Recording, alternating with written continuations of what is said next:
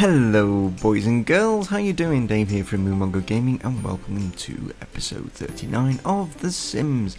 Yes, I know. I apologise. This should have been up on Monday, but you know it's here. It's it's Friday, and we're ready to rock and roll.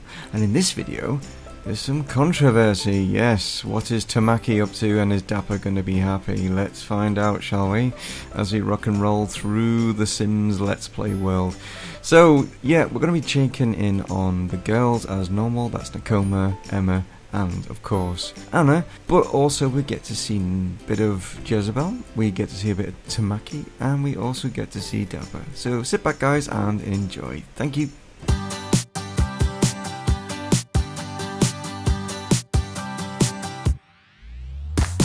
I can't believe someone like me is here with somebody